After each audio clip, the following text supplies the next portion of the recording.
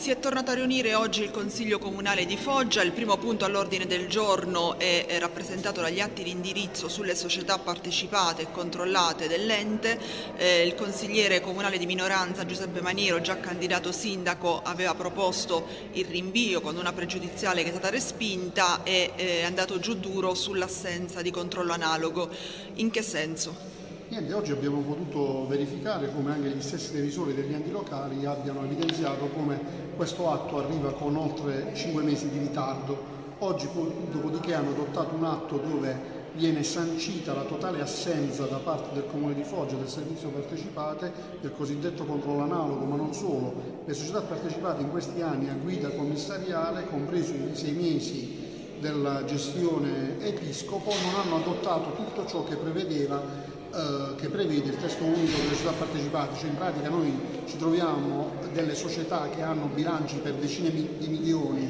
pensi ad AMIU, pensi ad ATAF che ha oltre 200 dipendenti oppure AMIU,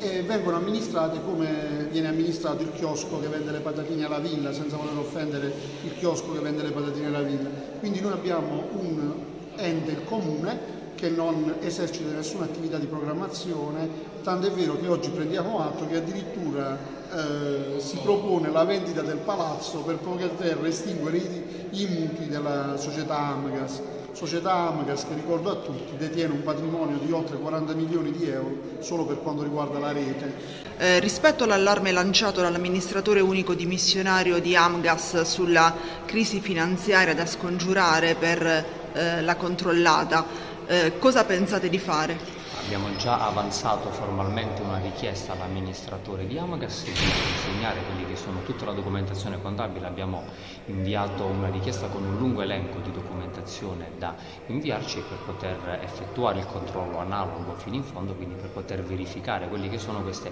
esigenze di difficoltà di liquidità che hanno, eh, diciamo, sono dovute a una serie di fattori. Eh, primo fra tutti, diciamo, soprattutto in periodo Covid, la eh, fatturazione negativa che ha comportato un credito IVA non indifferente che però ovviamente verrà smaltito nei prossimi anni e ha comportato diciamo, la, che adesso c'è una difficoltà di, liquid di, di liquidità, eh, però ad esempio c'è stata già settimana scorsa è arrivata una sentenza del Consiglio di Stato che ha visto Amagas eh, eh, vittoriosa nei confronti dell'Arera, quindi la possibilità di recuperare una cospicua somma di denaro da parte dell'agenzia di controllo e quindi ovviamente stiamo monitorando e tenendo sotto controllo quelle che sono le indicazioni che ci sono state fornite dall'amministratore unico.